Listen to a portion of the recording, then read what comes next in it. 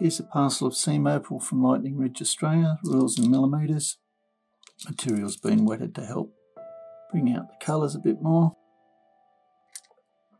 Some of this material is better than others, like this big piece hasn't got a lot of colour in it there.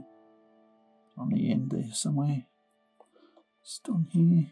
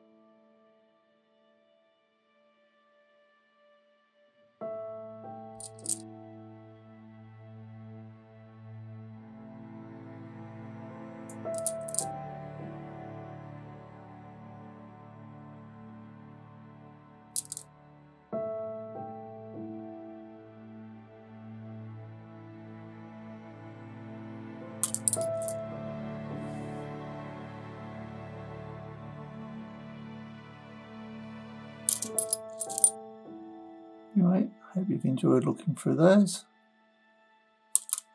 Cheers.